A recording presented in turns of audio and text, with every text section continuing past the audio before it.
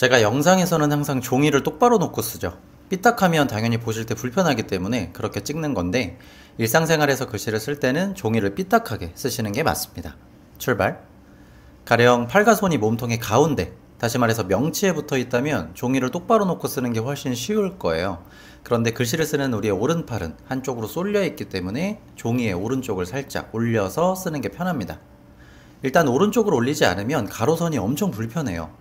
수평을 만들려면 억지로 손목을 꺾어서 부담스럽게 움직여야 하거든요. 그런데 종이를 돌려놓고 쓰면 편하게 쓱쓱 밀더라도 수평에 가깝게 나오므로 가로선에 대한 스트레스가 현저히 낮아집니다. 세로선도 마찬가지예요. 종이를 똑바로 놓고 툭툭 내려보세요.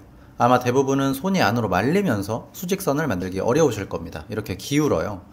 그런데 오른쪽으로 올려놓고 쓰면 툭툭 내려도 아까 전에 기우는 현상이 보완되므로 완성품을 봤을 때 수직선에 가깝게 느껴집니다.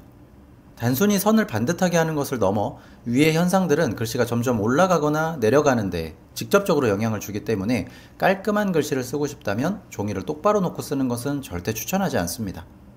학부모님들 중에서도 아이가 자꾸 종이를 돌려놓고 쓴다. 그래서 종이를 똑바로 놓고 쓰라고 잔소리하게 된다. 하시는 경우가 있는데 아니요. 절대 지적하지 마세요.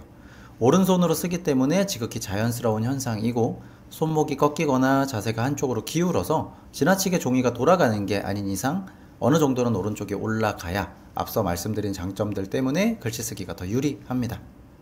백글이었습니다. 다음 백초도 우리 꼭 함께해요.